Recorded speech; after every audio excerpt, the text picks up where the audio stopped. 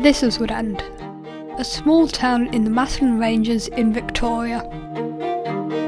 I'm Elijah. And I'm Riley. This is our school. These are the grade 5 and 6 students. And this is our Schools in Fire Country story. It all started when a local lady called Lou saw a presentation about schools in fire country at a conference. When she got back to Woodend, she wrote a message to our principal asking if we wanted to run the programme in our school. She said, Yes. This is the Woodend CFA station. Lou sent them a message too, asking them if they could help out. They also said yes. So they came to our school and had a meeting with Neil, who explained what the Schools in Fire Country program is. a research informed participatory bushfire education programme enabling place based teaching and learning in upper primary school classrooms. I don't sound like that.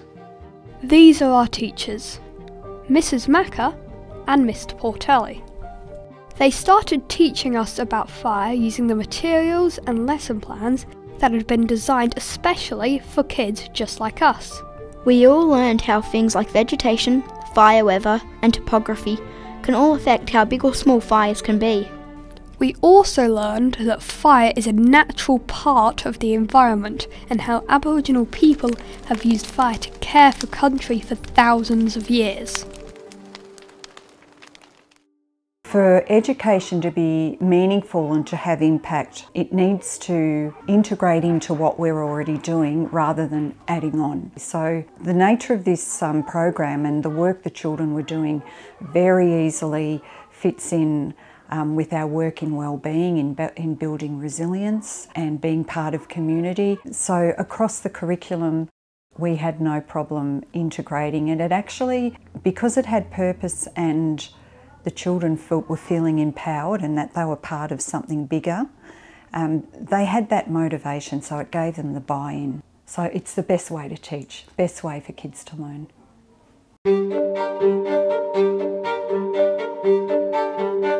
Cara, Rob, and Christy from the Woodend CFA Brigade took us on a walk to help us understand what would happen if fire started in our area. Once we understood the basics, Mrs. Macker and Mr. Portelli asked us to think about different ways that bushfires can cause problems in our area and to use our learning to help our community be more prepared. One day, some experts came in to hear about our projects. They asked us questions and gave us lots of really useful advice. safely. And I love that point with your presentation where you're, you're to have your drink bottles and your lunches. We've got um, a paddock with not very good fencing, but like um, two dams in it. What stage should people be leaving? What, what's your goal? When do you want them to leave? After that, we got stuck into our projects.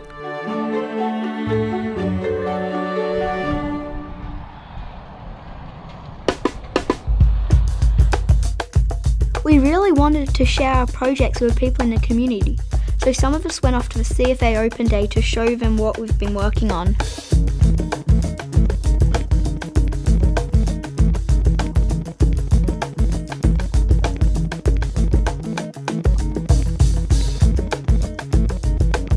The messmate stringy bark is a tree that uses thick bark to protect its soft wood. The people affected by this problem are children because they won't know what to pack and also adults because their kids will slow them down.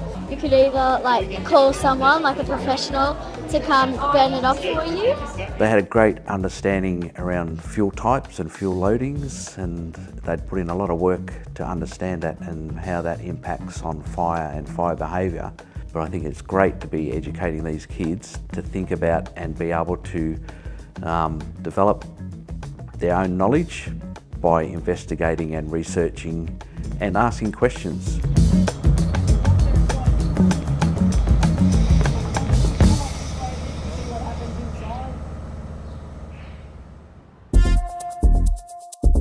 Once our projects were ready, we had a showcase event at our school.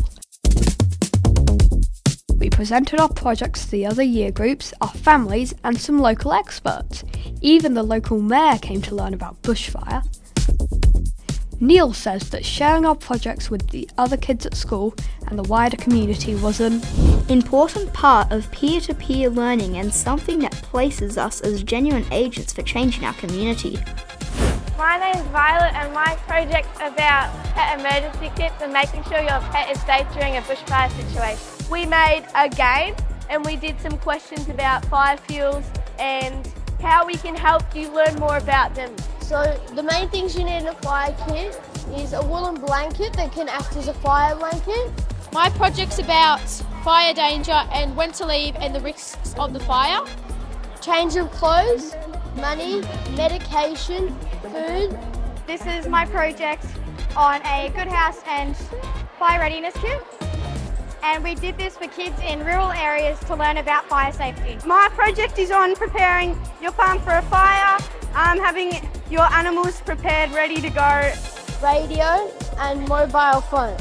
Those are all extremely important items in the case of a fire.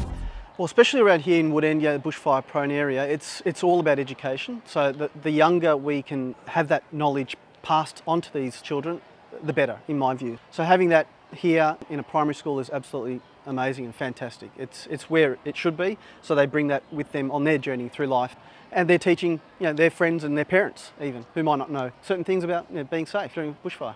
I came to help on the day when they had the professional people's advice and the development and the implementation of what they've used uh, with some of my suggestions has just been so rewarding. And their knowledge and their confidence with their projects has just been outstanding. It's just been an absolute pure delight to watch. Most of us were super excited about our projects and talked about them with our families at home. Some families even used the information we gathered to do more bushfire preparation.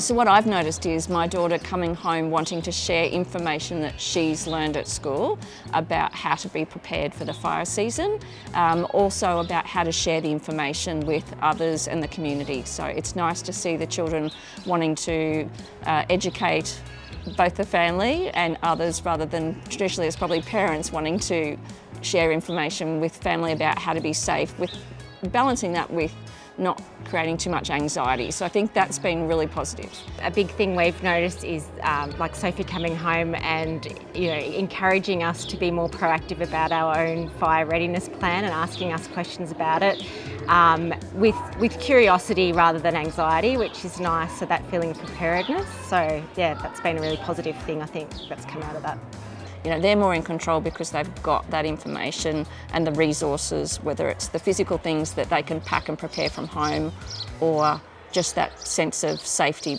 because of the information that they've been able to educate themselves with and learn from.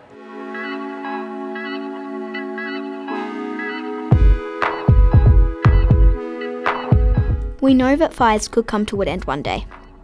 But now that we've done the Schools in Fire Country program, we know more about bushfires, what it means to live in the bush, and that we can make a difference in our community.